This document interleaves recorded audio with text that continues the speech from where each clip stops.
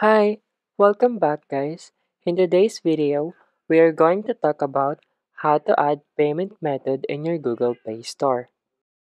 Adding a payment method will be easier for you to pay for Google Play Store. Check the video description and I will try to leave the written instructions.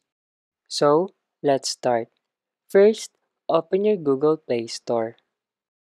Once you open it, Click your profile icon at the right top corner of your screen.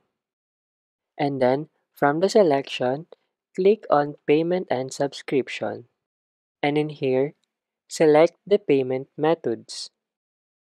You will see payment methods that are available.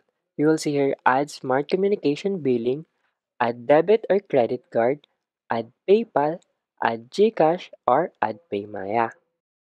In this example, we'll use PayMaya. And in here, you will need to add your PayPal email address and then you will need to confirm it.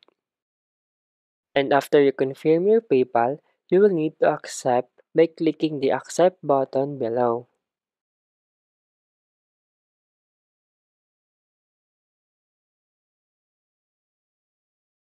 There you go. If you wanted to know how to add a payment method on your Google Play Store, that is the easiest way I know how.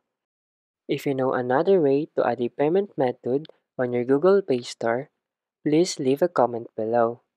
Be sure to subscribe for more videos.